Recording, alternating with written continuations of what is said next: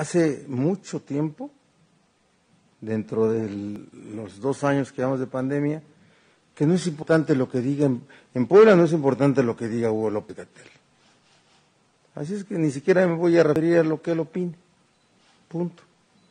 Nosotros hacemos nuestra propia evaluación y daremos nuestra, tomaremos nuestra decisión cuando lo veamos conveniente en el tema del uso de cubrebocas.